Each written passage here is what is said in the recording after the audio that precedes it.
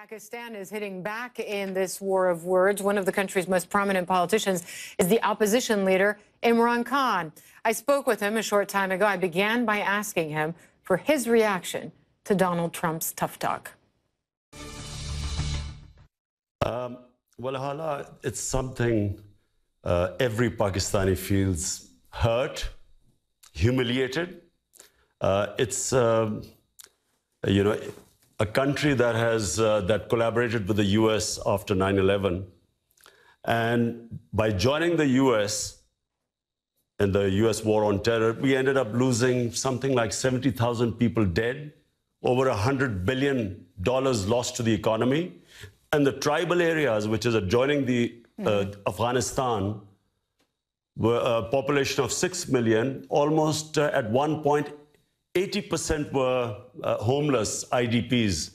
So after all this, suddenly to hear uh, this uh, strange statement that Pakistan is responsible, made a scapegoat for the US not succeeding in Afghanistan, it is, uh, I, I, just have to say that it is deeply uh, painful for all of us. So you don't acknowledge that Pakistan is turning a blind eye sometimes, the government itself? I spoke to Zalmay Khalilzad, uh, the former uh, American ambassador to Afghanistan. He said it's not true. The government knows where these extremist groups are. This is what he said, that essentially they're not just in these tribal zones, but in the big cities themselves, if you could listen. In fact, uh, the leadership of the Taliban are in the city of Quetta, or uh, other leaders are in uh, places like Peshawar, big cities of Pakistan. Uh, and yes, of course, when they come across the border, they cross uh, areas that are tribal, but uh, the government of Pakistan knows where these people are. So you have former ambassadors like Khalilzad saying the government knows exactly where these people are and they're just turning a blind eye. So number one, why does he not tell this to the Pakistani government or the military, which keeps asking them to tell them where these people are? Because they seem to know, Zalmay Khalilzad seems to know. Number two, uh, uh, uh Hala, is this plausible?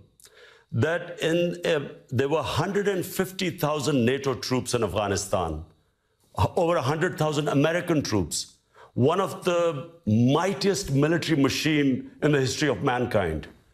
And the total number of insurgents going into Afghanistan, which Pakistan is being accused of harboring, the Haqqani group, that's the group, yeah. Haqqani network, which Pakistan is supposed to be protecting, what, they're 1,500, 2,000, maximum 3,000? Are we to believe that it's because of these 3,000 people, 150,000 of the best uh, military might of the West could not win in Afghanistan? Is this plausible? Mm -hmm. I mean, who believes this joke? So what is there? In the end, is this what they've got? They blame Pakistan for not being able to succeed well, in, Donald uh, Trump has even said, has even implied in his speech that aid, that assistance, economic and military to your country, Pakistan, could be at risk, he implied, unless the government of your country does more to tackle these extremists. In my opinion, Pakistan has been the biggest collateral damage in this Afghan adventure. It was ill thought out. There was no definite aims. They still, they never tried a proper political solution in Afghanistan. There was bombings and killings. And uh, to blame Pakistan at the end, who is the biggest sufferer of this war? I, uh, which country has lost 70,000 people going in uh, to, uh, uh, to help the Americans in Afghanistan? And, and, and when they talk about loss to the economy, it's over $100 billion. I mean, the, the government But you'd be okay with, with, some of this so, U.S. aid being suspended if, in fact, Donald Trump goes down that road. You'd be okay with that? I would certainly recommend it to our government. I'm in the opposition. I would recommend that we could do without this aid. We are much better off staying out of Afghanistan. It, this, this aid has been very costly to us in terms of, as I said, not just the loss to the economy, but the number of Pakistanis killed, wounded, uh, lost limbs in these bomb attacks. Uh, we, we, are well, we would do without this aid. You do admit, though, that your country has a terrible problem with some of these groups that carry out horrific attacks. Just a few months ago in Lahore, 80 people killed in a single attack. If you were prime minister, if you were the head of the government, what would you do differently? In my opinion, Pakistan, uh, the, all the political parties have come to the table and we have come up with what is called the National Action Plan, where we feel that all militant groups within Pakistan should be disarmed. So, this is a consensus reached in Pakistan after all this bloodshed. And that's really the way uh, of going about it because the legacy of the 80s has to be brought to an end. And we, the only people, uh, the only force, peop, uh, only the government should have monopoly of arms. One last thing, a message to Donald Trump. I mean, you heard what he had to say about your country. You heard what he had to say about his strategy for Afghanistan, your neighbor.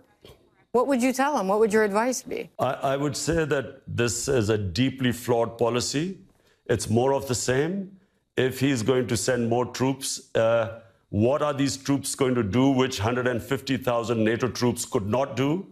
Uh, and I feel that this, uh, his stated policy of killing the enemy, I mean, that's what they've been doing for all this while. I think they should change policy. They should engage the neighbors. That means China, Russia, and Iran. And, and, and they should try and uh, form a government of consensus. And actually, the US should think of leaving Afghanistan. Because as long as there are troops in Afghanistan, there will, there's always going to be a problem. If they can do it simultaneously, get the neighbors on the same table, bring them on the, uh, a dialogue with the Taliban, and then have a withdrawal, and at the same time, a government of consensus is uh, set up in Afghanistan. To me, this is the only solution. Do you see yourself as having a clearer path to becoming prime minister? Uh, I know you're in the opposition now, but Nawaz Sharif was removed a few weeks ago. How do you see the next few months playing out for you in terms of that ambition? Well, I'm, uh, you know, a sportsman. Uh, my training is as a sportsman, so I'm always optimistic. I always think I'm going to win. Uh, and I do feel this time that this is, uh, this is our time, this coming election. Whenever it is, uh, we think it'll be the end of this winter. And I think we have a very good chance of winning the elections. You see yourself as Prime Minister of Pakistan? Well, if we win the elections, hopefully,